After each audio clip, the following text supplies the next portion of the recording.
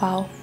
And go. Hi everyone, I'm Tamaryn Green. So something people don't really know about me is that ears actually really make me feel uncomfortable. Just touching them, it's a little weird. My favorite childhood memory is literally just driving with my family and listening to Elvis in the car. I should be the next Miss South Africa because I believe I can represent our country for what it is.